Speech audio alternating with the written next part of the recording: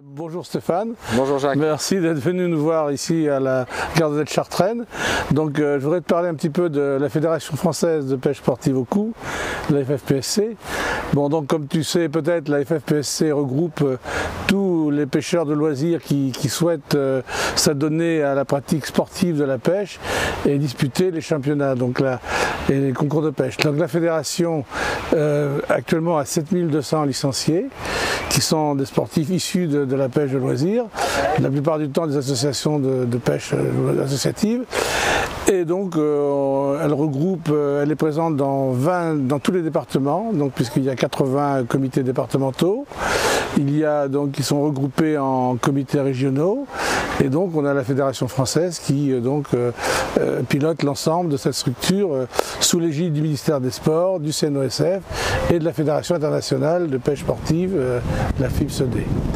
Alors elle comporte aussi euh, des groupements nationaux qui, regroupent donc, euh, le, groupement national euh, au carnassier, donc Carla, le groupement pêche à la carpe, c'est le, GN Carpe, et puis le groupement national de la truite au sapin naturel. Donc voilà la structure associative de, cette fédération qui organise pas moins de 70 championnats nationaux qui dispose de 12 équipes de France présentes euh, dans toutes euh, les compétitions internationales.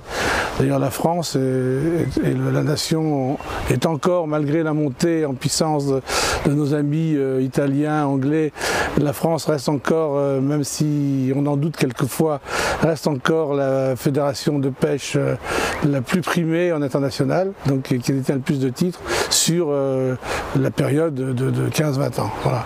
Donc voilà un petit peu ce qu'on fait. Donc euh, on a, ça se développe beaucoup.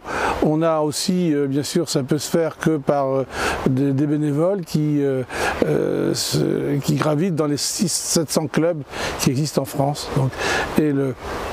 La pêche sportive est devenue un maillon indispensable à la pêche de loisirs puisque beaucoup de pêcheurs sportifs font aussi partie de la pêche associative et euh, s'organisent dans les APPMA et permettent euh, aux fédérations euh, d'avoir une, vie active dans les APPMA et même si c'est pas trop connu mais c'est quand même une réalité les pêcheurs sportifs ce sont des passionnés et à ce titre ils tirent par le devant la pêche, la pêche tout court en France.